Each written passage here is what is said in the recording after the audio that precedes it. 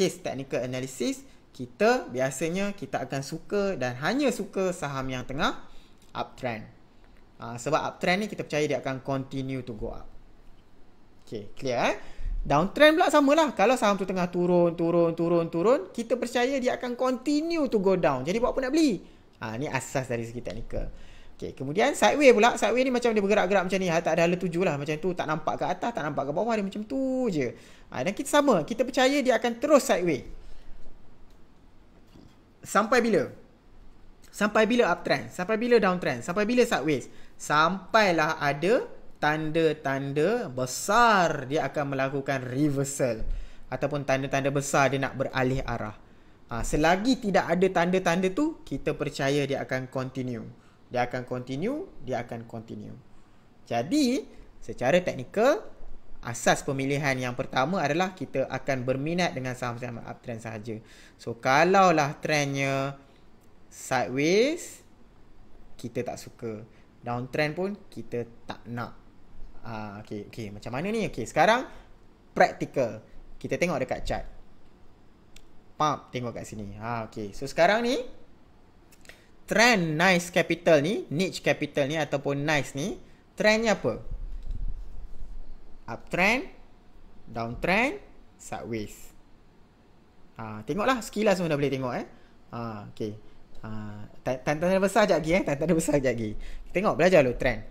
Ha, so, macam mana? Macam mana? Macam mana ni? Ni uptrend ke, downtrend ke, sideways? Uptrend ke, downtrend ke, sideways? Uptrend ke, downtrend ke, sideways? Macam mana? Macam mana? Macam mana? Eh, dia lambat sikit lah. Saya nak tengok lah anda jawab eh.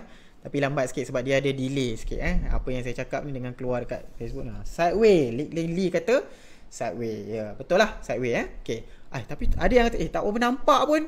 Tak clear pun. Ah, tapi sebenarnya memang kita sekilas boleh nampak. Okay. Tapi kadang-kadang, kadang-kadang, saya zoom up sikit eh. Kadang-kadang ada yang jawab Ah, sine wave terus no reason eh. Ah, eh, kan nak tengok sine wave ah, tengok. Nampak? List kata uptrend. Azlan kata sideways kot. Ah, sideways ah. List lepas tu tukar pula sideways. Okey. Kenapa? Itu normal. Sebab bila kita tengok chart ni, kadang-kadang orang bagi jawapan mengikut sudut yang berbeza. So kalau kita tengok dari perspektif ni, ini up, macam uptrend je ni, uptrend je ni. Tapi kalau kita zoom in, zoom in lagi, macam downtrend je ni tapi kalau kita tengok dalam konteks macam ni nampak macam sideways ha, so itu adalah confusionnya and that is normal so persoalannya adalah kita nak tengok yang mana kita nak tengok yang macam ni ke kita nak tengok yang macam masa kat sini zoom up macam ni ke nak tengok nak tengok yang dekat macam ni macam mana tak faham ah ha? okey senang aja eh kita nak tengok bergantung kepada yang ini ah bergantung pada yang ni First, kita kena define. Kita ni trader jenis yang macam mana. Ha, niat kita untuk trade tu untuk tempoh berapa lama. Ha, kita nak tengok. Kalau kita nak niat kita nak intraday. Ha, jadi kita tak boleh tengok chart ni. Tak boleh. Sebab chart ni lambat. Dia sehari-sehari. Kita nak buat keputusan dalam masa satu hari. Jadi kita kena tengok time frame yang lagi singkat. Okay, kalau macam saya, kalau macam kita di Aizam selalunya, kita buka di chart ni, kita tengok niche kan. Ha, cari saham ni. Nice. Okay. Saham yang ni. Nice ni. Double click. Ha, so di sini. Kalau anda klik yang dekat sini. Ha, so yang ni anda nampak trend harga ni berapa ni. Ini sama juga. Boleh tengok trend juga. Tapi ini adalah. Nampak harga dalam tempoh satu hari. Jadi setiap ni melambangkan. Dia tak ada candle lah sebab dia tick chart. Ha, sebab dia tak boleh buat candle. Sebab setiap satu ni adalah satu minit. Ha, jadi kalau anda intraday, anda kena tengok time frame yang lagi singkat. Ha, iaitu sesingkat trend satu minit yang macam saya tengah tengok ni. Jadi kalau nak buat keputusan untuk intraday, nak beli ke, nak jual ke, tengok chart time frame yang ni. Jadi buat keputusan. Jadi tengoklah trend dia untuk tempoh yang ini. Ha, so contoh nak beli uptrend je. So yang ni nampak, tak nampak sangat uptrend dia kan. Tak nampak sangat. Yelah dia bergerak parasnya tak tak beza sangat. So apa yang uh, Okay tak apa Kita tengok contoh yang lain eh. So sebab hari ni bukan nak ajar intraday Ni nak, nak beri penerangan je Kang terus ni pula Okay So jadi Kita kena tengok tempoh yang mana. Ha, Jadi kita tengok. So kalau kita contoh Kalau kita macam super short term Jadi kita macam nak simpan pun Nak berhari-hari Jadi kita nak tengok trend mana? Kita kena tengok trend yang Berhari-hari Berbanding dengan berhari-hari yang lepas. Ha, Itu yang penting untuk diri kita. So contoh untuk nice capital ni kalau tak berapa nampak cara nak trend dia nak buat trend dia so senang je lah.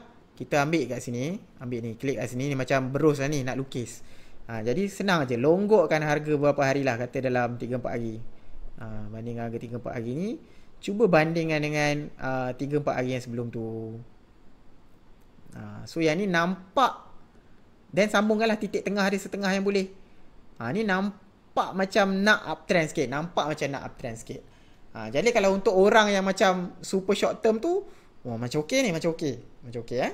Ha, okay. Ha, jadi kita...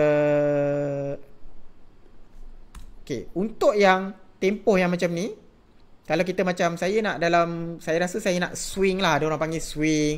Ha, dalam beberapa minggu lah. Saya nak trade beberapa minggu. Jadi, kita kena tengok trend yang dalam tempoh yang sama. Ha, beberapa minggu berbanding dengan beberapa minggu yang lepas. Untuk contoh yang sama ni, kita tengoklah. Ha, sekat bawah ni nampak tarikh dia. Ha, yang ni hari boleh agak lah. So, rasa macam... Okay lah. Kita bulatkan uh, berapa minggu ni? Katalah ni uh, lima hari seminggu kan? Seminggu katalah dua minggu. Dua minggu banding dengan dua minggu. Lebih kurang macam tu. Uh, yang ni nampak macam ni hampir-hampir sideway lah. Dia antara downtrend sikit tapi dekat-dekat dengan sideway lebih kurang lah. Uh, lebih kurang macam tu. Jadi ish. Uh, kalau untuk orang yang macam tu dia kan eh tak boleh lah ni tak ada tak boleh next. Tak kena. Bukan uptrend. Uh, so itu cara dia. Uh, so sama juga kalau yang macam ni untuk orang yang uh, mid term pula Ha, dia tengok dalam konteks yang lebih besar lah. Sebab dia pun nak nak nak trade dalam masa beberapa bulan, sebulan ataupun dua bulan niat dia. Jadi dia punya analisis pun kena tengok trend yang ikut time frame yang sesuai. Ha, jadi kena tengok dalam sudut beberapa bulan. Ha, so contoh beberapa bulan tu longgokkanlah harga dia. Eh, di sini.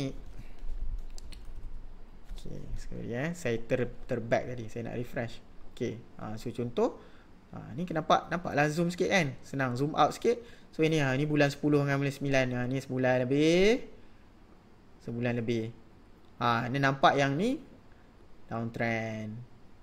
Ha, so tak payahlah. Next tengok yang lain. Okay. Untuk exercise kita.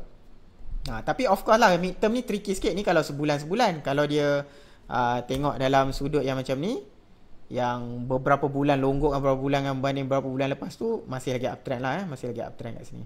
Okey which is masih lagi uptrendnya dekat sini. Ha, masih lagi trendnya naik.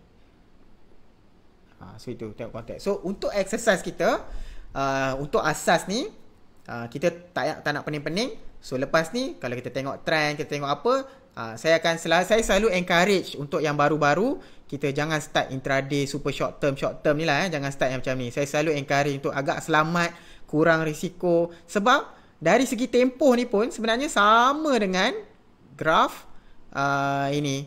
Ingat tak ni? Kita punya falsafah ni kita punya teori ni. High risk high return ni kan? Sama juga untuk strategi. Uh, berkaitan dengan tempoh. So tapi yang ini risk dari segi cepat maknanya lagi atas ni lagi cepat cepat risiko kerugian lah. Ha, sama juga dengan ni. Uh, return lagi ke kanan ni lagi cepat. Ha, jadi kalau kita tunjukkan ni, tak apa. Saya rasa it's okay saya spend time supaya biar faham. Which is, contoh, strategi yang macam ni, intraday ni, of course dekat sini. Ha, maknanya berisiko tinggi lah. Maknanya berisiko. Kalau memanglah untung cepat, sehari dah untung. Tapi kalau tak menjadi, 5 minit je dah rugi. 10 minit dah rugi. Buat lagi satu rugi lagi, rugi lagi, rugi lagi. Ha, jadi maknanya risikonya sangat tinggi strategi yang seperti ini. Dan seterusnya lah eh. Dan seterusnya. Ha, dan seterusnya. Ha, so maknanya yang ini katalah super short term. Ha, strategi. Ha, ini can be ni lah eh. Kadang-kadang ada orang panggil lain lah term dia. Kadang-kadang dia kata ada strategi BTST. Buy today, sell tomorrow. Ha, kita tahu lah buy hari ni, jual esok. Maknanya untuk berapa hari je. Ha, ni kira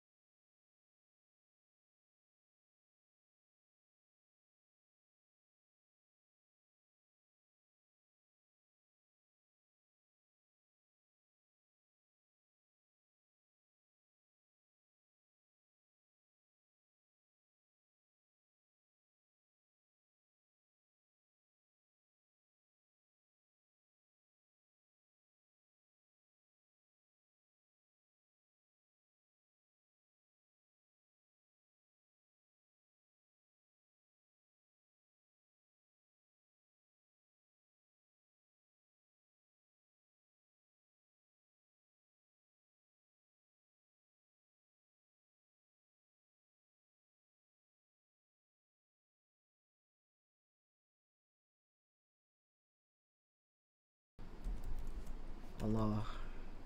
Ha, support versus resistance. Ha, kena tahu. Okay, hari ni kita akan cover dua ni je technical analysis. Tapi, dah boleh buat dah decision eh. Dah boleh buat decision. Satu, cari yang uptrend. Okay, dah cantik. Okay, yang kedua, kena tahu menentukan support resistance. Okay, secara teorinya, saya explain teori dulu. Harga saham ni kan dia naik, turun. Dia, dia tak bergerak secara... Uh, dia tak bergerak macam flat eh. Dia bukan line macam ni eh. Dia kalau naik pun dia macam ni, macam ni, macam ni, macam ni, macam ni eh. Kita tengok tadi, kita dah nampak tadi kan. Uh, so contoh eh. So bila harga saham, kita tengok dari segi logik dulu eh. Supaya anda faham kenapa. Support ni apa? Support ni adalah yang bawah ni, lantai-lantai. Okay, ni adalah support. Okay, support. Support. Ha, support ni bersamaan dengan lantai lah kalau bahasa Melayu. Harga lantai. Okay, saya tunjuk dulu baru saya explain eh. Kemudian yang ini adalah resistance. Ataupun ceiling. Okay. Logiknya apa? Logiknya adalah aa, ah, kenapa kelebihan teknikal ni? Kelebihan teknikal ni sebab dia logik. Dia berdasarkan sebab yang kita nampak di sini. Yang pergerakan dia naik turun, naik turun dan sebagainya dan boleh buat kita kata trend akan continue. Kenapa kita boleh buat kesimpulan yang sebegitu? Sebab selalunya memang macam tu. Sebab yang kita nampak di sini adalah ini adalah perangai manusia yang trade saham ni. Mana ada yang dia tamak, tamak excited, yang ni takut, takut berlebihan ha, dan sebagainya. Itu yang boleh sebab dia berulang-ulang. Dan sifat manusia di Malaysia, di United States, di Australia, di Japan, di uh, apa ni? Di mana-mana benua lah pun. When it comes to trading, perangainya sama. Jadi sebab itulah boleh ada kajian teknikal analisis sebab berulang-ulang. Sifat orang ni berulang-ulang. Jadi sebab tu dia. So sebagai contoh, antara contoh sifat berulang-ulangnya adalah kita faham support dengan resistance ni. So contoh, bila harga saham tu tengah naik, naik, naik, naik dan naik, bila dia sampai ke paras ceiling, ke paras resistance ni, psikologinya kebanyakan orang akan rasa, oh harga dia dah tinggi dah ni. Dah sampai ceiling dah. Dan ramai orang start mula menjual. Sampai sini orang start mula menjual. Bila orang mula menjual, harganya akan turun, turun, turun, turun, turun. Sampai dekat-dekat dengan paras lantai, paras support, ramai orang berjemaah akan kata, Oi, murah weh. Dah harga lantai dah ni, support dah ni. Sauk. Bila ramai orang start membeli, harganya akan naik, naik, naik dan naik. Ha, itulah logiknya support dengan resistance. Ha, sebab tu penting juga kita menentukan tahu macam mana nak tentukan support dengan resistance ni supaya kita boleh buat keputusan. Keputusan apa? Keputusan dia contoh bergantung kepada lah bila nak belilah. Ha nak masuk kat mana, nak beli dekat mana. Dan ada beberapa strategi. Ha, so tadi ada yang tanya breakout tu maksudnya apa? Breakout tu maksudnya contoh bila harga saham ni naik, naik, naik, naik dan naik. Okay, sampai resistance sepatutnya apa?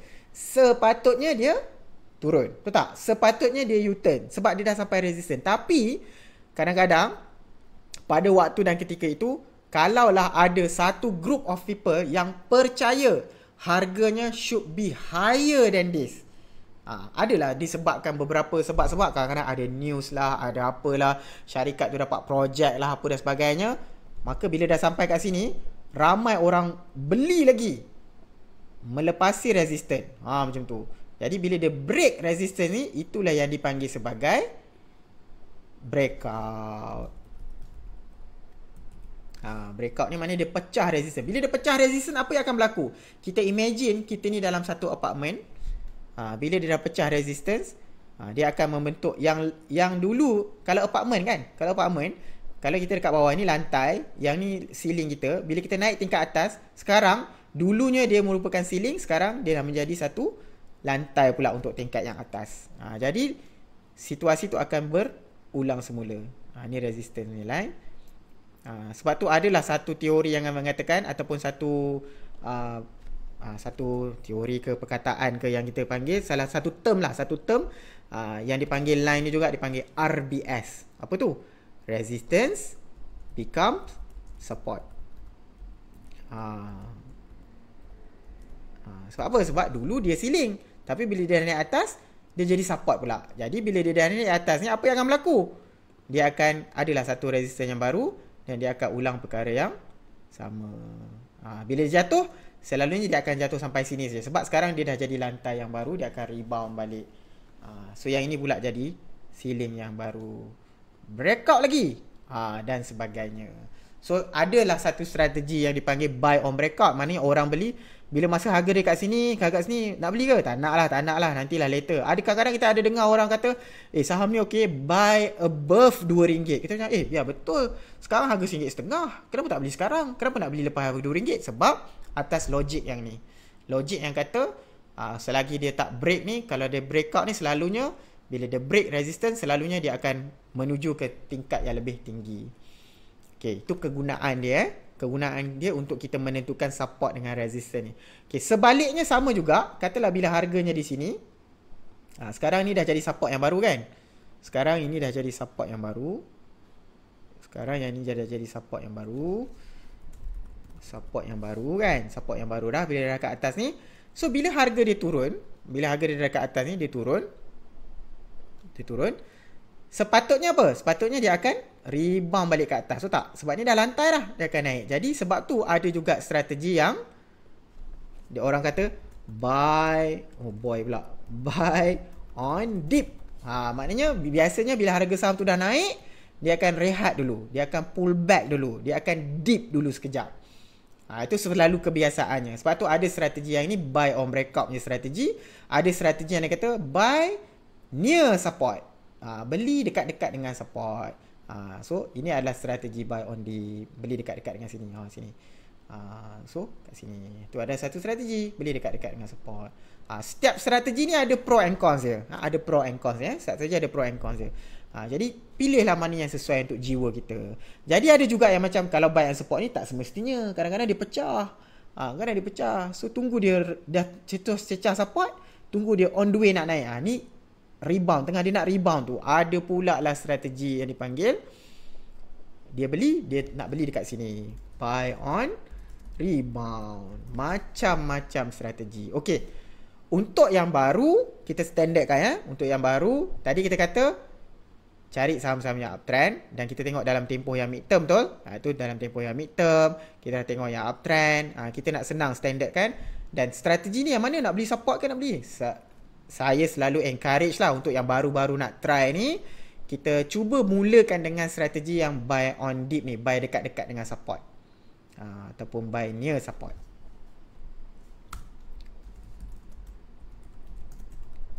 Uh, supaya apa? Supaya uh, okay saya explain jugalah apa tu kegunaan support ni. Okay buy on support. Okay uh, buy on rebound tu kita kat sini pun boleh juga eh. Kita alih lah. Ha, ni katalah ni buy on rebound. Okay, sebab saya nak tulis ni. Ha, so contoh, bila kita buy dekat support ni, ha, so apa, tadi kita dah tahu kegunaan resistance. Eh. Kegunaan support ni apa pula? Kegunaan support ni, let's say lah saham tu turun, turun, turun, turun. Bila dia sampai dekat sini, sepatutnya dia rebound kan? Tapi dia tak menjadi rebound. Sampai kat sini tiba-tiba lah. Masa kat sini ada satu force yang besar kata harganya sepatutnya lagi tinggi daripada ni. Masa kat sini pula terbalik. Ada satu force yang lagi besar kata no harga ni should be lower than this. Ada orang yang jual juga. Maka dia break dia punya support. Okay. Disusuli dengan apa ni? Adalah berita-berita yang tidak baik kan. Contoh uh, apa ni syarikat ni hilang projek ke syarikat ni ni lah uh, syarikat ni apa ni pilihan raya ke uh, ni nak tukar ini uh, BN related company uh, dah nak jatuh kan so and so forth macam-macam sebab uh, so maknanya tapi dari segi teknikal sebab tu semua noise noise kita tolak tepi kita tengok dekat chart eh bila support ni pecah uh, jadi kita boleh gunakan paras ni untuk kita minimizekan risiko kita. Kalau pecah support tu biasanya kita gunakan ni sebagai inilah kita punya cut loss punya point. Maknanya kita jual dengan kerugian yang sedikit. Kenapa? Sebab logiknya adalah biasanya ha, biasanya kalau support ni pecah dia akan zoom menuju ke lantai yang baru. Pecah lagi lantai ni dia zoom menuju ke lantai yang ni. Ha, jadi sebab itulah logiknya kita perlu tahu macam mana nak menentukan support supaya kita boleh set cut loss kita untuk minimizekan risiko kerugian kita. Ha okey. Terus ni ada kata panjang sangat list kata macam mana nak tentukan line resistance support. Okey, sekarang kita pergi ke arah macam mana nak menentukan. Teori dah faham dah. Dah mahir dah. Now macam mana nak setkan. Okay, senang je. Jangan risau. Very easy. So kita tengok contoh saham yang uh, well call. Well call. Well call. Yang kita tak, tak tengok lagi. Tengok eh. Okay. Satu kita dah tahu tengok trend. Okay. Sekarang okay. Now kita nak menentukan support pula. Okay.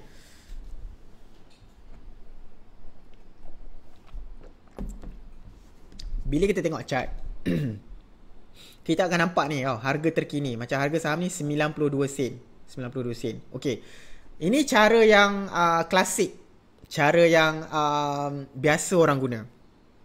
Macam mana cara nak menentukan support? Satu kita ambil line ni. Ambil line ni. Ni nak lukis pun boleh nak lukis pun boleh. Uh, ataupun nak ni kalau nak nak cantik ambil line lah. Kita ambil line ni saya pilih horizontal line. Saya klik pop horizontal line. Jadi macam mana cara nak menentukan support adalah harga sekarang. So kita tengok harga sebelum ni. Tengok harga dia sebelum ni. Tengok mana paling rendah dia pernah pergi sebelum dia U-turn. Ha, nampak? Contoh macam dekat area ni kan. Nampak area ni. Jadi kita boleh kata inilah support dia. Pap letak kat situ. Okay, saya tebalkan sikit supaya senang nak nampak. Ha, okay. Ha, jadi kita dapatlah support lantai dia. Ha, lantai dia. Ha, jadi macam mana cara dia? Pergi tengok hari yang sebelum ni, harga sebelum ni, tengok mana paling rendah dia pergi. Itu adalah support. Okay, itu itu support. Okay, resistance macam mana? Okay, resistance. Okay, resistance pula terbalik. Ha, ni contoh yang uh, sebab dia baru pecah dia punya resistance sebelum ni. Okay, resistance terbalik. Resistance pula, kita tengok harga yang sebelum ni, tengok mana paling tinggi dia pernah pergi. Oh, oh, oh, oh. Yang paling tinggi daripada harga sekarang lah. Oh, oh, oh, oh, oh, oh, oh, oh, oh, okay, okay, okay. Oh, oh, oh, oh, oh, oh, oh. Ah, yang ni nampak paling tinggi. Ha, sebab dia jauh sikit eh. Kadang-kadang ada dekat sikit, kadang jauh sikit. Ha, ini kebetulan jauh sebab dia baru baru breakout lah. Tak apa. Kejap kita tengok contoh breakout dia tu. Okay. Kalau support, tengok paling rendah mana dia pergi, letak kat situ. Okay. Kalau resistance, terbalik, tengok mana paling tinggi, berbanding dengan harga sekarang, letak kat situ. So, contoh ni. Ha, nampak kat sini kan? Fuh, tinggi kat sini. Oh, oh, oh. Sap, parking kat situ. Ha, jadi dapat dah resistance. Ha, dapat dah resistance dia. Okey, sekarang kita dah nampak dah. So harga dia macam ini adalah supportnya, ini adalah resistance. Okey. Soalan seterusnya. Nak beli ke tak? Kalau support dia jauh kat sini, resistance kat sini. So biasanya juga orang guna pakai ni. Oh, Messi betul lah saya punya ni. Uh, Messi betul eh. Katalah uh, ah, okay. Katalah yang ni resistance. Ah, Okay. Maka dekat sini katalah support. Support. Ah, Biasanya Kita gunakan apa? Ah, Bila kita buat trading plan tu Kita punya Support kita Ataupun satu paras di bawah Ni adalah kita punya cut loss point. Ah, So maknanya Yang kalau kita guna strategi entry Dekat-dekat dengan support kita gunakan kita entry dekat-dekat dengan support. Ini kita punya entry point. Biasanya entry price lah. Ha, entry price ataupun entry point kita. EP tak kisahlah. Ha, kadang orang panggil EP entry point itu kita kat kat sini. Ha, jadi biasanya juga kita gunakan uh, resistance ni sebagai kita punya uh, TP uh, TP tu take profit ke target profit target price ke lebih kurang sama ya. Kita punya target price katakan ha, dekat area sini. Ha, jadi kita kita tentukan support dengan resistance ni untuk menentukan kita punya apa yang kita buat ni.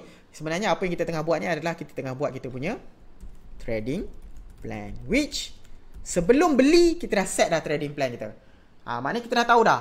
Kita beli memang kita takkan tahu saham tu naik ataupun tidak. Tapi kita dah tahu dah. Kalau saham tu naik, kita dah tahu dah apa kita nak buat. Which is kita dah tahu dah jual kat mana lah. Ha, so contoh kalau saham tu turun, kita dah tahu dah kita nak apa nak buat. Uh, so which kita dah tahu dah kita punya cut loss punya point. Itulah maksud trading plan. Sebab tu kadang-kadang yang baru-baru kan, kadang-kadang orang tanya-tanya kita apa you punya trading plan? Apa yang trading plan? Kita alamak, trading plan tu apa benda eh? Trading plan tu maksudnya adalah sebelum kita beli, kita dah tahu dah. Saya nak entry dekat harga mana. Kalau tak menjadi, saya nak cut loss kat area mana. Kalau menjadi, saya nak take profit ataupun target price saya dekat area mana. Ha, itu adalah maksud trading plan. Sebelum beli dah kena ada trading plan. Ha, barulah kita seorang trader yang bertanggungjawab, yang ada plan, yang ada strategi. Kalau kita tanpa strategi, kita akan huru hara. Ha, kita akan kita akan pening kepala lah PM semua. Eh macam mana ni nak hold ke apa eh? Macam mana nak buat ni? Alamak, ini macam mana ni? Anwar Ibrahim macam mana ni? Muhyiddin macam mana ni? Apa nak? Kita akan serabut. Kalau kita ada trading plan, tak kisahlah nak tukar kerajaan ke, nak apa ke, nak COVID fasa 3 ke, fasa 4 ke. Selagi harga di atas saya punya cut loss, saya tak buat apa-apa. Kalau dia pecah kat, kalau dia break saya punya support ni, saya cut loss. No matter what happen. Ha, jadi hidup kita lebih tenang sebab kita dah ada plan. Kalau kita tak ada plan, kita akan pening kepala. Okey. Kembali kepada sini eh. Okey. Ha, maksudnya dalam kes ni lah kalau kita setuju lah kita ini adalah kita punya cut loss point. Contoh eh. Ha, Okey ada cara lain lagi. Kejap lagi saya akan explain. Tapi kalau kita setuju dengan yang setakat ni je. Kalau ni kita punya take profit. Anda nak beli ke tak nak beli? Ha, so macam maksudnya. Kalau kita tak menjadi. Risiko kita kerugi adalah banyak ni. Ha, kalau tak menjadi. Kalau menjadi, potential reward kita adalah banyak ni. Jadi itu yang ada yang tadi ada komen tu, risk versus, ha, tu 13 Oktober. Ha. So ada yang kata risk versus reward punya ratio katakan. Ha, jadi kalau dalam case ni, kalau kita kata support dia dekat sini, maknanya gayat lah. Ha. Maknanya macam, kalau saya, saya tak belilah eh, sebab, ish, macam jauh sangat ni kalau nak ni macam ah ha, mana kalau dalam kes ni kita nak beli masa bila contoh mungkin boleh guna tunggulah dia break support tunggu dia break lah break uh, resistance ni dulu ha, jadi bila dah bentuk support yang baru ah ha, baru saya beli dekat atas ni ha, beli dekat tingkat yang baru ataupun let's say dia jatuh dekat-dekat area sini ah ha, barulah saya decide untuk beli tu contoh untuk membeli buy on support okey tu satu eh tahu tak cara nak bentukkan support resistance dah tahu dah kot eh okey tapi ingat tak Ah, dalam kes ni sebab jauh sangat ni, jauh sangat support ni, kita ada kaedah macam modified sikit lah. Modified apa? Nampak tak line ni? Yang ni. Resistance become support ni. Ah, sebab support yang jauh sangat, resistance become support ni. Kita faham eh, kalaulah sebelum ni paras tu pernah menjadi resistance, dia juga boleh dijadikan support yang baru. Okay, dalam kes ni, well call ni, well well call ke well well call, uh, well call ni, masa harga dia dekat area-area sini, Nampak tak yang ni lebih kurang macam resistance kan? Ha, nampak ada dua kali dekat area sini. Dua kali, tiga kali. Pump kat area sini. Betul tak? Ha, tengok. Trap resistance. Trap resistance. Ha, jadi inilah contoh breakout lah ni. Breakout. Ha, ni breakout. Breakout tak deep langsung. Ni breakout terus. Ha, ni kalau orang yang buat yang breakout tu strategi ni untung lah dia. Dia beli kat area sini. Tengah enjoy keuntungan. Ha, tapi dalam case ni. Ha, sebab kadang-kadang tak menjadi macam tu eh. Kadang-kadang ada yang dia breakout ni dia turun sini sekejap. Ha, jadi beli kat sini adalah agak baik. Ni kalau buy on dip. Ha, ha, buy near support. Ha, tapi contoh kalau dah dia ada di paras ni dia dah break resistance ni kita kata okey ini adalah support. Kalau 86 ni jauh sangat kan. Kita boleh kata okey 88 ni kita boleh katakan anggap dia juga sebagai support yang lebih dekat. Okey. Selain daripada tu kita tengok zaman dahulu kala. Zaman dah jauh sangat ni. Zaman dahulu kala nampak dah dia banyak main-main kat area sini.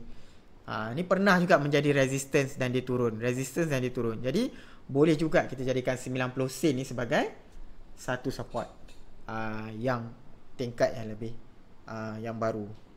Uh, jadi, kalau contoh, kalau nak buat keputusan, kalau ada yang masih nak beli juga, contoh eh, kalau masih nak beli juga, mungkin kata, uh, mana tahu dia turun dekat-dekat area 90 sen, so bolehlah standby nak beli dekat area 90 sen, kalaulah dia buat deep sikit untuk esok ke lusa dan sebagainya. Ha, let's say lah dia turun-turun sikit ni, kita boleh standby nak beli dekat area sini. Kalau dia teruskan kenaikan, tak ada peluang lah. Tak ada peluang nak buat apa? Tak ada peluang, tak apa. Banyak saham lain yang ada lagi. Okay. Faham eh? Kita gunakan support dengan resistance pun, kita dah boleh kebuat keputusan nak entry dekat mana, nak target price dekat mana, nak cut loss dekat mana. Dan kita dah ada trading plan. Okay. Macam mana pula kalau macam Alah tak nampak lah Saya faham eh Biasanya Aduh serabut ni Contoh lah Nampak macam faham ni. Nampak macam senang kan? Senang lah letak line kat sini Letak line kat sini Letak line kat sini. Cuba saya Padam balik. Ha betul. Okay lukis sendiri. Weh pening kepala kan? Alamak Mana tadi ya Tadi kat mana Aduh serabutnya. Okay Jangan risau. Cik jangan risau. Ada cara yang agak mudah lagi eh? Yang ini secara manual. Terbaik adalah kalau kita boleh buat lukis manual. Tapi kalau ada bantuan, eh, ada bantuan, eh, ada bantuan. Ha, macam kalau kita jawab homework, soalan yang homework cikgu bagi dulu, ada jawapan kat belakang. Dalam saham pun adalah teknik jawapan kat belakang tu. Contoh, harga sekarang 92 sen. Macam mana nak menentukan support dia yang jawapan belakang? Anda boleh pergi ke bawah ni. Ni ruangan fundamental tadi. Nampak tak ruangan teknikal ni? Okay, dekat ruangan teknikal ni, ada ni. Tab yang pertama ni, support dan resistance. Okay. First ni adalah nampak support dengan resistance table ni. Dah ada dah jawapan kat belakang. Ha, tapi ni menggunakan teori lain.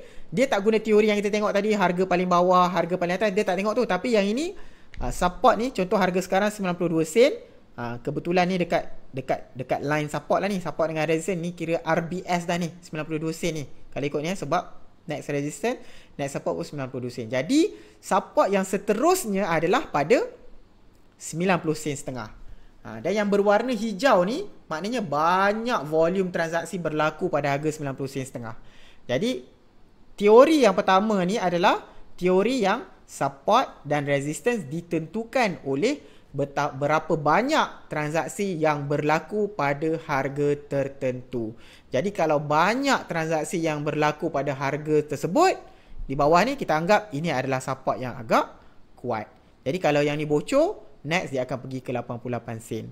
Ha, resistance pula terbalik. Kalau dia melepasi naik ke atas, yang ni pun ada 92 sen, 92 setengah, 935 tapi kita nampak next yang kuat adalah RM1.07 sen, RM1.10 sen. Jadi kalau tak pandai nak lukis tadi, boleh gunakan support dengan resistance table ni. Okey, nak guna macam mana? Contoh, kita setuju kita ambil yang color ni lah. Hijau dengan merah. Contoh harga 92, support kita 905, 107. Jadi pergi atas balik. 905 905 Okey. 107 uh, Jauh.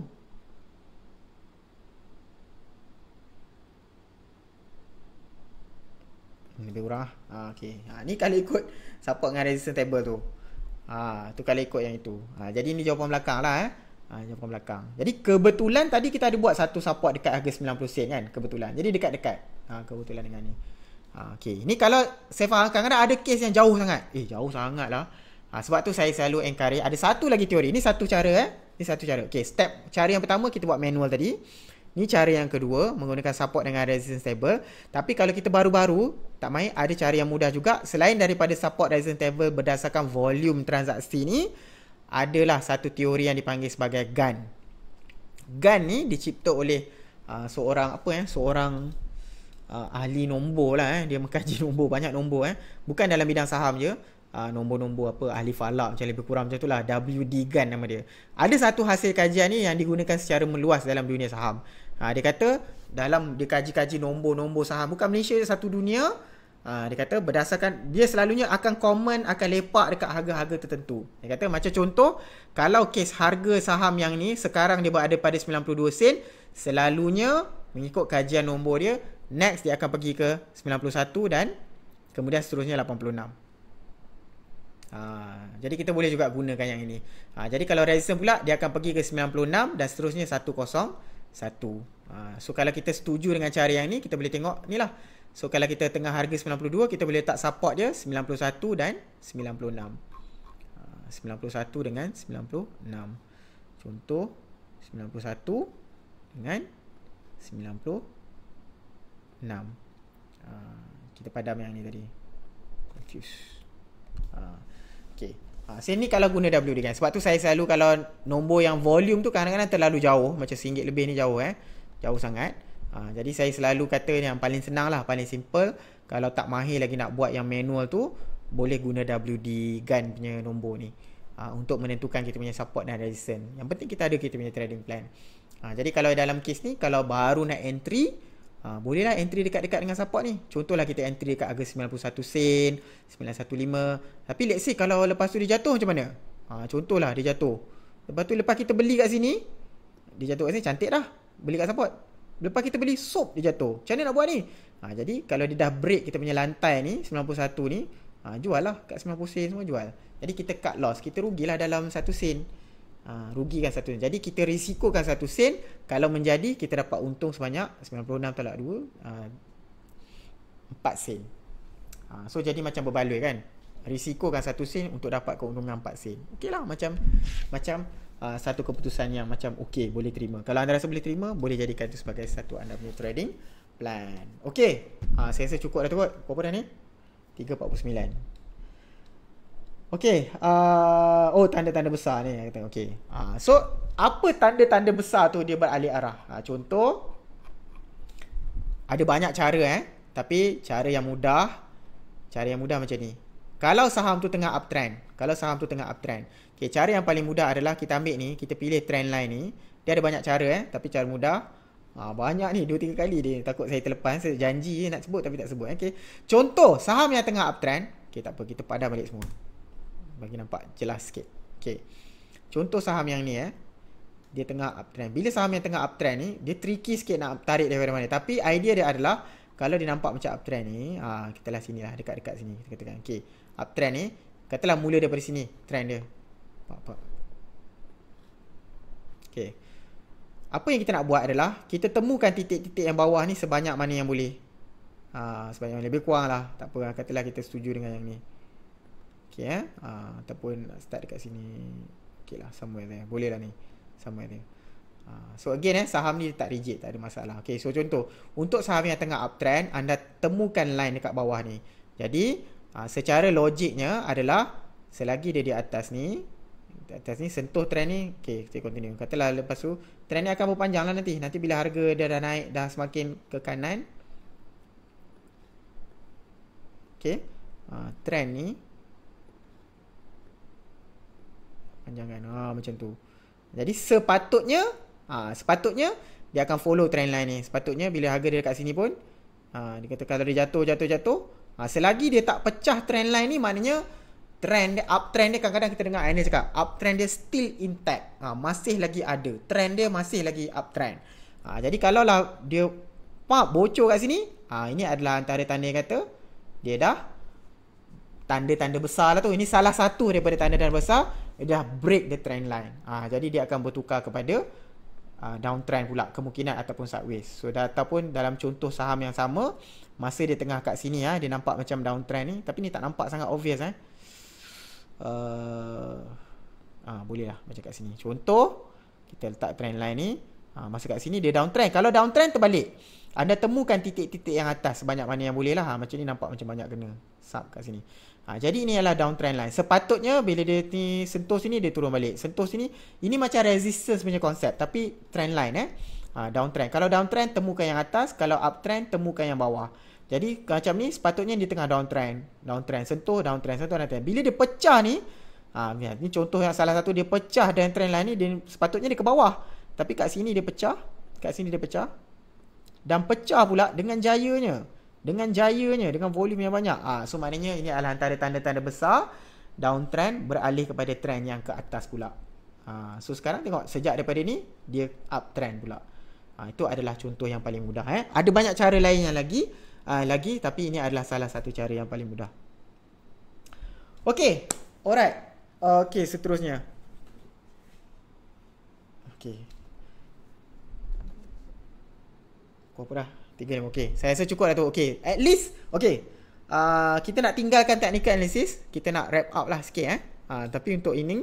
Saya nak kongsikan screener dulu. Uh, tak nak tanya screener ke? Tak nak tanya screener.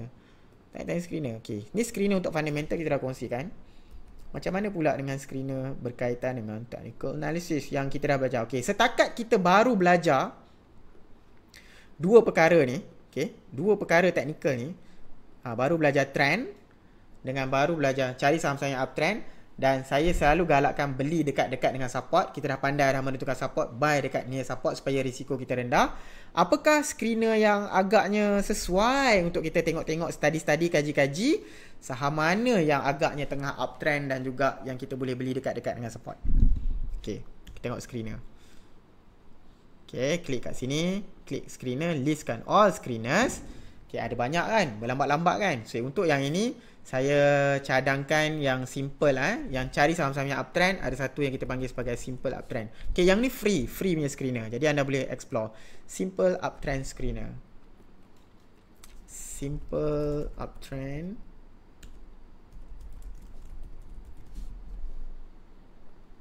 Okey so macam mana dia kata uh, simple uptrend screener ni menggunakan price increase okey pergerakan harga.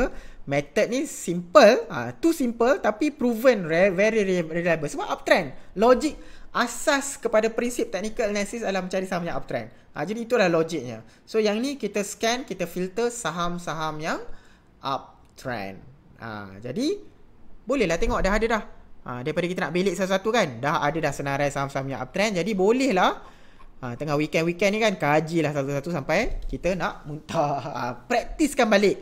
Okey, dah tahu dah. Okey, yang ni uptrend cuma eh ya ke uptrend? Tengok balik, tengok syntax ni. Pap kita buka. Oh, betul lah uptrend lah. Okey, fine. Okey. Okey, uptrend ni macam okey lah. Okey, sekarang macam mana nak menentukan support dengan resistance dia? Ha, dan anda boleh start practice. Ha, so, ha, macam eh, macam nak beli sekarang ke apa? Ha, so, kita selalu encourage Ha, cari kalau nak entry dekat-dekat dengan support. Support dekat mana? Kat sini, kat sini. Ha, ni ada berbeza mazhab juga. Ha, boleh letak dekat sini. Sama ada dekat body dia yang full ni. Tapi ada juga version yang kata support. Menggunakan support yang sengok yang shadow dia sentuh. Ha, it's okay. Tak kisah mana-mana yang kita nak pakai. Kalau macam saya, saya lebih bias kepada cara yang macam ni. Eh. Ha, kita gunakan yang confirm punya body. Sebab kaedah midterm pula. Kita kaedah midterm lagi satu. Kita memang selalu tengok yang dah closing lah. Baru kita buat keputusan. Ha, jadi Oh, cokey ni. Tak apalah. Standby nak beli dekat-dekat area sini. RM10.90 ni. Contoh uptrend. Eh, mahal sangat lah RM10 ni. Macam mana? Tengok yang lain. Cuba tengok Wong. Tengok Wong Corporation. Ha, okay. Ha, so, yang ni uptrend betul ni. Gayat juga naik dia. Ha, gayat tak gayat. Tengoklah support kat mana. Oh, okay ni. Macam okay. Uptrend tu okay lulus. Tapi support mungkin kat sini kot. Dekat dengan support. Ha, tapi kalau dia pecah ni mungkin saya ada kat sini dia dulu resistant dan jadi support. Ha, ini pun sama, sama dengan support. Ha, jadi ni agak kuat. Macam mana ya? Okey tak okey? Then you can make your own decisions. Dan boleh start buat trading plan. Ha, so screener yang simple, simple uptrend plus. Okay, ada satu lagi. Tak tahu dia masih percuma ke tak eh. Kalau percuma kita kita kita kongsikan, kita share. Sebab kita nak premium kan ni tapi Uh, masih percuma lagi. T plus screener okay. T plus screener ni sebenarnya Dia bukan uh, uh, Strategi yang simple. Ni adalah strategi yang advance. Teori T plus ni. Tapi Kenapa saya Kongsikan Dekat webinar? Sebab nature of screener ni Dia ada nature of um, Ada elemen-elemen yang Elemen apa ni? Elemen premium screener kat dalam ni Anda boleh guna pakai. Okay, Saya tulis dulu eh, T plus screener. Jadi lepas ni boleh belik-belik lah Dua screener ni tak payah banyak-banyak nanti pening. Okay, T plus screener ni nature-nya macam mana? Dia ada satu teori ya. Eh? T plus teori bila sat, teori T plus ni lebih kurang saya simple kan. Bila ada berlaku kenaikan yang sangat tinggi macam breakout punya price, biasanya dia akan disusuli dengan retrace ataupun dip lah hari kedua, ah, hari ketiga dan sebagainya. Ha, jadi yang ni hari naik ni dipanggil T0 lah ataupun T. Ha, so yang sehari selepas kenaikan tu dipanggil T plus 1, T plus 2 ataupun T plus 3. Ha, jadi screener ni mencari saham yang macam ni. Ha, teorinya macam ni lah dan biasanya lepas dia berehat beberapa hari tak semestinya 3 eh kadang-kadang 4 5 kadang-kadang 2 lepas tu dia dah gerak. Ha, tapi contoh bila ni biasanya dia akan disuling dengan kenaikan yang seterusnya. Ha, so kalau ikut teori lebih kurang samalah kita cari saham yang uptrend tapi dia tengah dip beli dekat-dekat dengan support. Ha, ni teori T plus ni. Okay. Screener dia adalah macam ni. T plus screener anda klik kat sini. Ha, so dia kenapa ni sebab dia dah ada jawapan belakang kat. Ni bukan jawapan belakang ni, dekat ketat exam pun dah ada jawapan. Ha, contoh macam dah ada lah. Ha, so kita akan tukarlah term ni sebab SC tak bagi guna cut loss TP ni eh. Tapi kita dalam proses nak uh, revamp balik kita punya saham. Ha, tapi kita tahulah yang maknanya area ni adalah area support. Area ni adalah area resistance, resistance. Ha, so yang mana remark entry ni ha, T plus ni adalah plus berapa hari lah. Mana ni baru sehari lepas dia harga tertinggi. Yang ni dah 3 hari lepas harga tertinggi. Ha, Yang ni dah 3 hari lepas harga tertinggi. So tapi Kena filter out eh. Macam contoh tengok saham ni Okay lah at least saham yang uh, Profit making company kan. Uh, So tengok kata uh, Uptrend. Okay kebetulan tengok okay uptrend. Supportnya somewhere dekat sini katakan. Ataupun um, this is sebelum ni pernah menjadi support 53 tapi ni support dia 51 so kita tengok dia kata cut loss dia dekat area mana? Cadangkan. Sekarang harga 54 ha, yang ni rapat sangat lah ha, so dia panggil yang 53 ha, so cut loss 53 jadi kalau masih anda boleh terima boleh ni kira jawapan yang anda boleh setuju yang kata macam betul ke 53 ni support dia? Ha, so macam tengok yang paling rendah dia pergi betul lah macam dekat-dekat je ni. Contoh kat area sini kan? Ha, area sini. Okay. so senang lah nak buat nak ni Ha, so sebab tu boleh praktiskan lah. Uh, sub kat situ kan. Uh, eh. Lah, bukan lain ni. Upsi. Apa dah? Jawapan kata exam. Betul. Uh, so ini nature screener ni eh. Uh, tapi teori dia kena faham eh. Teori adalah satu teori yang advance tapi kita mudahkan lah eh. Nanti jangan kalau pening nak tanya apa T plus kenapa T plus tu kenapa T plus C itu adalah topik yang advance sikit. Tapi kenapa saya ni sebab nature penggunaan dia dia dah ada dekat sini dah ada guideline lah dah ada guide yang mudah untuk kita orang yang baru-baru ni kita mudah. Uh, so boleh practice. So the most important part bila dah belajar semua ni adalah kena jawab soalan ni lah sebelum beli saham sebelum beli saham wajib jawab dua soalan. Okey, yang pertama, kenapa nak beli saham tu? Kena anda kena ada jawapan. Ha, ini nak melatih kita jadi trader yang bertanggungjawab. Kenapa nak beli saham tu?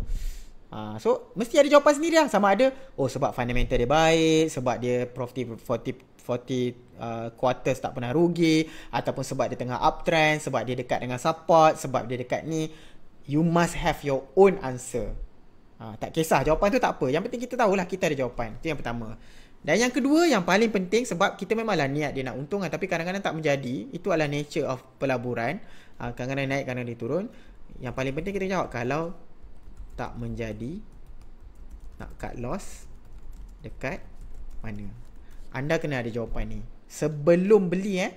Ha, maknanya sebelum beli dah tahu. Jadi kalau masih ada yang PM PM semua orang, coach yang ni nak buat apa eh? Yang ni nak hold ke nak apa? Yang ni nak buat apa eh? Yang ni nak cut loss ke apa? Yang ni nak buat apa? Ha, maksudnya nampak sangat lah ini memang tak ada trading plan ni. Ha, so nampak sangat tak ada trading plan. So kita latih diri kita sebelum beli kita dah ada dah ni. Ada plan. Jadi kita okey lah. Apa-apa yang berlaku, kita dah boleh buat apa-apa saja. Ha, simple tapi very powerful.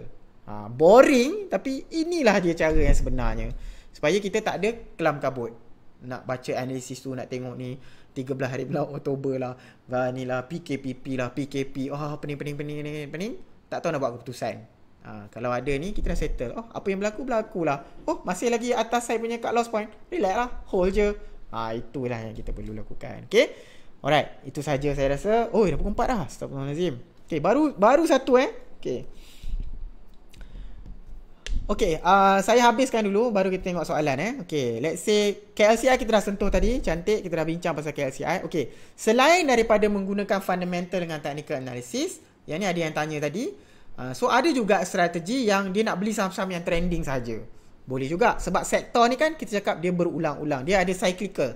Dia ada yang masa sektor ni tengah naik, sektor ni tengah downtrend. Tapi ada juga strategi yang pakai Uh, macam contoh KSCI okey, jadi tengok sektor mana yang trending. Jadi kita boleh buat apa? Kita buka air saham, klik sektor. Uh, klik kat sini, ruangan yang kanan ni, sektor ni. So ada dah dibahagikan lah sektor-sektor yang uh, uh, berbagai kategori dan kita bagi numbering lah, kita bagi indexing number. Jangan risau 17 ni, 10 ni apa tapi maknanya kalau lagi tinggi di atas ni maknanya trend dia sangat kuat dalam contoh kat sini lah dalam tempoh yang mid term bull sector ni yang tengah cantik lah tengah naik kan ha, maknanya education sector furniture apparel yang memang tengah trending. Trending sangat dalam tempoh midterm. Jadi kalau contoh kalau yang nak ikut trend macam oh saham education tengah trending lah. Klik sikit apa saham-saham yang ada kat dalam kategori ni? Ha, boleh nampak dah saham-saham yang ada dalam kategori ni dan bolehlah anda buat keputusan ha, so contoh furniture tengah trending tengok apa saham-saham ni dan boleh pilih daripada sini. Sebab tu nak pilih macam mana? Gunakan balik kita punya trend line, kita punya cut loss, kita punya support, ha, boleh pilih berdasarkan itu ataupun perkara-perkara yang lain. Okay, ini adalah salah satulah sektor analisis. Eh? Alright, so itu sahaja daripada saya. Um, mungkin saya nak tengokkan ni sikit lah. Eh? Saya nak tengok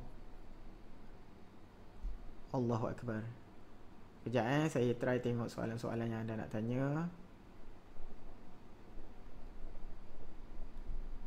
Yo yo. Okay, so dah habis dah ni. Okay, apa beza body? Okay, saya tengok beberapa soalan. Saya tak nak jawab semua eh, sebab masa dah habis eh. Uh, saya try run through sikit. Okay, um, saya jawab laju-laju eh. Saya jawab laju-laju. Uh, jawab laju-laju. Um, uh, tangkap pisau macam mana? Okay, tangkap pisau tu maksudnya ini memang tangkap pisau ni namanya pun dah bahaya dah eh. Uh, namanya pun dah bahaya. Cuba anda bayangkan anda pergi ambil pisau dekat dekat dapur tu baling try tangkap. Ha, kalau salah tangkap memang luka berdarah eh. Ha, so maknanya apa yang orang cakap tentang tangkap pisau tu adalah bila harga saham tu tengah tengah jatuh, jatuh, jatuh, jatuh, jatuh, dia nak try tangkap. Ha, dengan harapan dia tangkap dekat bawah lah. Ha, takut kalau tersalah tangkap, pap macam tu. Hmm, hancur, berdarah lah. Eh. Ha, so itu nama strategi tangkap pisau tu. Tapi kita nak bincang yang ni lah. Eh.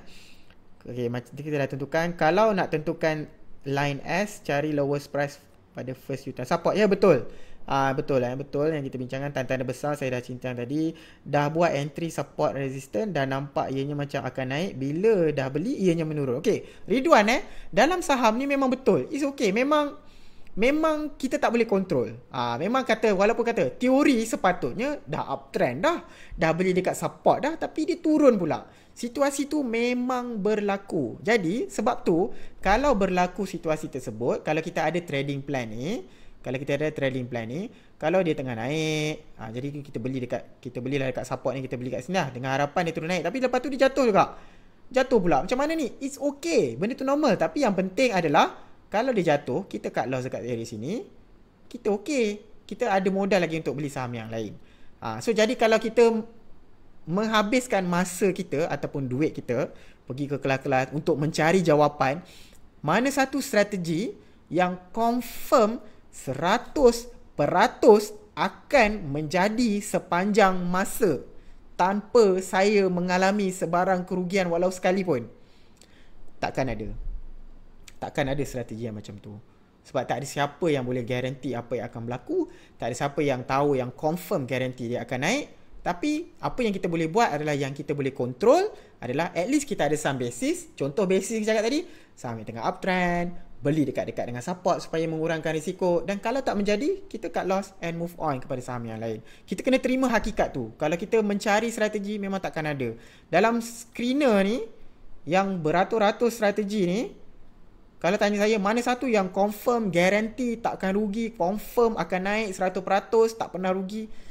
Tak ada tak ada satu pun tak ada satu pun ha, itulah kita kena faham hakikat tu kalau kita faham hakikat tu saya rasa kita boleh move on Okey, uh, boleh ke cut loss uh, sama dengan entry? Uh, boleh, boleh tak ada masalah. Cut loss sama dengan entry boleh, tidak ada pun masalah. Selalu bila ada news tak baik, harga semua terus jatuh. Jadi bila kita uh, bila kita beli beberapa saham, bila kita cut loss ni banyak rugi. Memang tak ada yang untung. Kalau kita biarkan and harap dia akan naik balik, okey tak? Okey, Reni eh. Teknik harapan ni adalah teknik yang paling bahaya paling bahaya dalam saham. That is the most dangerous technique. Ha, so teknik harapan ni memang kita memang tak gunalah semua ni. Eh? Kita tak guna semua ni. Ha, maknanya memang tak ada strategi lah. Beli berharap dia akan naik terus. Okay. Itu adalah bahaya. Saya tunjuk contoh. Ha, saya nak tunjuk contoh. Eh? Saya nak takut-takutkan Reni ni. Saya nak takutkan. Ha, sebab jarang ada kelas yang macam ni. Eh? Selalu kelas cerita yang indah-indah. Eh? Tapi kita nak jujur. Kita kena tahu apa yang sebenarnya yang berlaku. So saya bagi example satu saham yang dinamakan Sapura Energy. Sapura Energy ni pada waktu dahulu, satu masa dahulu merupakan saham yang mega yang mencecah harga RM5 satu unit. Waktu ni waktu apa? Dia saham oil and gas punya kontraktor eh. Waktu-waktu tahun ni seharga minyak mencecah 100 US dollar per barrel. Waktu ni siapa yang pernah terfikir bahawa harga minyak akan turun. Tak ada siapa pun terfikir. Sebab apa? Eh, kereta makin bertambah kot. Orang makin nak pakai minyak kot. Takkanlah harga minyak nak turun. Tiba-tiba, pada tahun 2015 macam lebih kurang, harga minyak turun daripada 100 US dollar per barrel sampailah ke bawah 30 US dollar per barrel. Ha, maka, harga saham pun mengikut-ngikut lah daripada RM4 jatuh sampai ke RM2 lebih. Jadi, kalau kita belajar pasal cut loss point, kita dah beli kat sini lah katakan dengan harapan minyak akan naik kot mesti akan naik kot garanti naik ke masa kat sini? Ha, lepas tu mungkin kita dah sampai sini kita dah set lah ni support. Dah ada peluang dah kat loss ni? Tak kat loss. Mana tahu dia akan naik minyak kot. Takkanlah minyak akan ni. Mesti orang nak pakai minyak kot. Takkanlah ni. Tak kat loss. Dah ada peluang dah ok support baru. Masa harga RM3 tak kat loss. Mana tahu akan naik? Tengok. Eh kan naik kan naik. Tengok naik. Kan cakap naik? Turun. Dah ada para nak support cut loss kat sini? Tak cut loss. Ada support cut loss kat sini? Tak cut loss. Cut loss yang tak cut loss. Lalas lalas berapa harga sekarang? Berapa harga? Berapa harga sekarang? Daripada RM5 dah jadi 10 sen Bukan RM5 ke RM1 eh. RM5 bukan RM5 ke RM1. RM5 ke 10 sen. Ha, so macam mana ni ha? So sebab saya ada kawan yang tersangkut kat saham ni eh. Yang sama. Degil. Ha, jadi sekarang portfolio dia negatif 80% untuk saham Sapura Energy ni. Simpan sampai sekarang. Masih lagi berharap. Dah berapa tahun dah ni? Bertahun-tahun. Okay, itulah bahayanya. Okay. Stop loss tu duduk bawah support lah. Okay. Biasanya stop loss kita letak di bawah support. Ha, sebab secara teorinya dia akan menyentuh support. Jadi kalau kita letak stop loss dekat ngam-ngam sama dengan support line tu. Dia jadi macam takut kita lepas jual. Dia akan uh, sentuh je lepas tu dia naik balik. Ha, jadi it's important ataupun it's important lah. Okay kalau kita biasanya kita letak di bawah support. Ha, kalau support RM1, cut loss kita 99 sen, 98 sen. Lebih kurang macam tu. Tanda ada saya dah kongsi. Alright, boleh lah. Ya, ada yang jawab. Suggested lot. Suggested lot ni saya dah bincang tadi. Eh. Suggested lot dekat mana-mana screener. Uh, mana-mana screener di air saham. Kita boleh letakkan modal kita lah. Ni tak payah tekan calculator punya style lah. Contoh kita letak medal uh, modal RM3,000 nak beli saham, kita klik submit, dia terus bagi. Kalau nak beli saham Canon ni, Can 1 Canon dengan modal RM3,000 anda boleh beli 12 slot. Okey, apa beza body dengan Oi, tak apa kan eh? Saya jawab eh, semua soalan ni. Saya selalu kadang-kadang saya jual mahal eh. Saya tak jawab soalan eh. Saya terus tutup eh. tapi hari ni tengah ada mood sikit. Okey. Soalan seterusnya, apa beza body dengan shadow? Okey. Apa beza body dengan shadow eh? Kalau kita tengok katalah tengok satu contoh saham eh. Okey. Okey, body ni maksudnya adalah ini harga closing. Ah, ha, ni harga sorry ni harga closing, ni harga dibuka.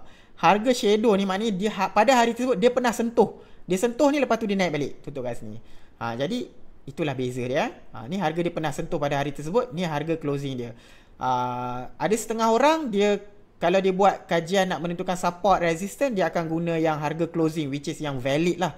Harga closing atau opening. Dia takkan dia akan ignore yang shadow-shadow yang dia cecah-cecah ni. Tapi ada setengah orang dia ambil kira. Jadi kalau dia tentukan contoh resistance kat sini dia akan ambil harga shadow ni. Ha, support dia akan ambil contoh macam kat sini dia akan ambil harga shadow ni. So itu perbezaan dia. Apa guide yang boleh digunakan untuk buat trading plan untuk long term? Okay, long term. Long term, uh, kita gunakan time frame long term. Contoh, kalau kita gunakan macam contoh dari segi... Uh, contoh lah eh, katalah. Okay, biasanya long term ni adalah saham-saham yang fundamental yang bagus. Uh, kita memang beli disebabkan fundamental. Ataupun uh, kita rasa dia boleh growing. Ada future grow of the business. Memang company tu memang betul-betul boleh grow. So for example katalah kita ambil satu contoh screener kan kita kata ambil uh, Okay lah katalah yang ni 40 profitable quarter ni Katalah kita let's say nak beli SKP resources untuk long term uh, Okay contoh eh. Uh, Jadi kalau lah contoh macam long term kan? Uh, So mungkin kita boleh tengok time frame yang dari segi long term punya support lah. Macam contoh kita tengok boleh dia tengok kalau contoh dari segi dekat kita nampak ini adalah support yang terdekat. Tapi memang niat untuk long term bolehlah kadang-kadang dia nak ambil uh, apa ni? Dia ambil dia ambil letak support yang memang betul-betul kuat lah betul-betul kuat. Contoh macam kalau kat sini macam tak kuat sangat contoh dia kata yang macam kuat ni macam lama kat sini kan lama kat sini Contoh macam lama dekat sini. Lama betul ni kat sini sini dekat-dekat ni. Sentuh area ni kan. Dekat area sini, area sini. Macam ini pun okey lah tak sampai tapi kat sini. Ha, so mungkin dia boleh katakan ini adalah long term support dia. Ha, so dia ada kelebihan tapi sanggup tak anda ni kalau uh, beli RM1.8 tunggu tunggu tunggu tunggu uh, sampai RM1 uh, 30 sen baru kita cut loss. Kan banyak kerugian tu. Ha, tapi konsep dia adalah seperti itu. Maknanya kita ada apa ni leeway lah untuk tengok yang big picture big long term punya support dan juga long term punya resistance ha, kalau macam resistance juga kita tengok lah pernah pergi sampai ke arah sini jadi mungkin kita boleh jadikan ini sebagai kita punya long term target Okay, uh, cut loss 5% daripada entry price okay ke tuan? Okay, dari segi peratus ni saya tak galakkan untuk kita letakkan cut loss menggunakan uh, menggunakan percentage semata-mata. Uh, semata-mata. Uh, so kalau soalan dia adalah seperti okay, harga sekarang ni 186. Saya nak beli je pada apa-apa harga Bila turun 5% saya akan cut loss. Ha, jadi 5% tu mungkin kat sini, mungkin dekat sini. Um, kalau gunakan percentage semata-mata saya tak galakkan lah. Melainkan kalau soalannya adalah Okay sekarang saya beli 186 Tapi kalau saya letak support dekat area sini Which is 175 Maknanya kalau saya rugi Cut loss saya adalah Dalam uh, 6% uh, 6% uh, Ni katalah kat series ni Katalah dalam, dalam 6% Okay ke tak okay nak menjawab okey ke tak okey, 5% ni besar ke tak besar itu bergantung pada diri anda sendiri. Ha, diri anda sendiri. So ada orang 5% ni bagi dia kecil, dia boleh terima. Maknanya dia boleh uh, risikokan 5%. Uh, setiap kali dia beli sesuatu saham. Then okey, tak ada masalah.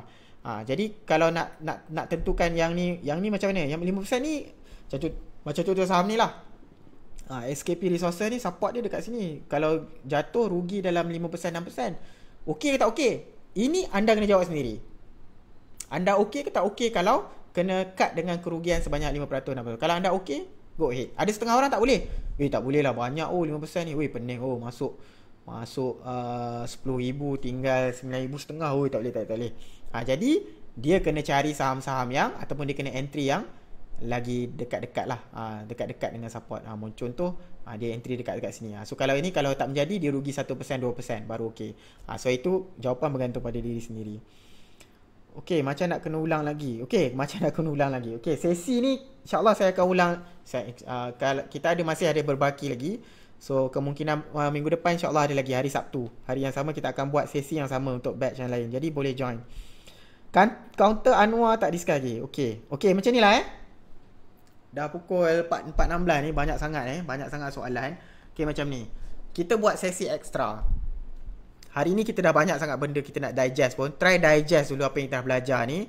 Ha, so saya tunjukkan dulu whiteboard ni. Kalau nak ada yang nak dah serabut dah ni nak screenshot pun apa pun tak jadi kan. Ha, tapi saya ha, tak apalah. Oh oh oh. Ha, so memang dah banyak sangat lah kita nak bincang kan Memang takut lah apa Faham tak faham dan sebagainya So now Apa kita nak buat Kita stop dulu kat sini Okay. Kita try practice-practice. Tengok screener-screener yang saya dah kongsikan tadi. Try, try and error. Tengok apa yang boleh, apa tak boleh. Try tengok ini. So, kita buat satu sesi tambahan extra. Q&A sahaja. Tak ada syllabus tapi kita Q&A. Um, esok malam. Hari Ahad malam pukul 9. InsyaAllah eh. Ini tak janjilah sebab nama pun bonus. Nama bonus kalau tak jadi tak rasa bersalah sangat. Tapi saya cubalah eh.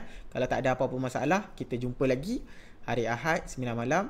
Masa tu Q&A saja boleh tanya soalan. Tapi supaya melancarkan proses, selalunya kita buat apa? Saya akan post something dekat dalam group ni. Saya akan post poll ataupun undian. Jadi anda tanyakan soalan di dalam undian tu siap-siap. Jadi kalau ada orang nak tanya soalan yang sama, dia boleh upvote. Ha, saya akan jawab nanti dalam sesi Q&A kita Kita akan jawab soalan yang mendapat undian yang tertinggi dahululah beri keutamaan Sebab masa sejam kita akan fokus jawab soalan yang ramai orang nak tahu apa jawapan dia. Jadi kalau ada soalan-soalan yang nak tanya ni EMA lah, buy and pucuk apa semua dan sebagainya ni Cuba tanyakan dekat soalan tu nanti Kita akan jawab secara sesi yang lain lah eh. So hari ni kita stop dulu Hari ni dah banyak sangat ni Pening kepala kan uh, Serabut sangat nanti nak belajar eh. So kita stop sini dulu dan kita sambung sebelum saya berakhir saya nak minta tolong satu lah eh. Penaja kita minta tanyalah kelas kita buat ni okey tak okey bagus ke tak bagus. Jadi dia nak minta buat feedback. Ha, jadi saya akan pastekan link kat sini kat komen ni untuk anda jawab uh, bagi feedback lah sama ada kelas kita ni okey ke tak okey. Uh, dan sebagainya kalau okey mungkin uh, siapa ni uh, uh, Bursa Malaysia akan continue lah uh, sesi kita untuk batch-batch yang seterusnya. Okay, so terima kasih kerana bersabar dengan saya. Minta maaf ada kesalahan dan kesilapan. Uh, saya harap yang saya punya matlamat saya harap faham. Saya harap faham. Uh, untuk sebagai asas ni saya harap okey. Saya rasa kita dengan boleh praktis tengok-tengok screener yang kita kongsikan. Sebenarnya, walaupun kelas ni percuma, walaupun asas, saya tetap percaya sebenarnya dah boleh dah kita buat keputusan. Dah boleh lah kita buat kita punya trading plan sendiri. Ha, jadi, terima kasih kerana bersama-sama dengan kita. So, jumpa lagi insyaAllah dalam sesi yang lain. Kalau dalam sesi bonus tu. Assalamualaikum warahmatullahi wabarakatuh. Kita jumpa lagi di dalam uh, sesi bonus lah insyaAllah kalau jadi hari Ahad pukul 9 malam. Assalamualaikum dan selamat berhujung minggu selamat datang ke pelaburan saham patuh syariah Bursa Malaysia. Terima kasih.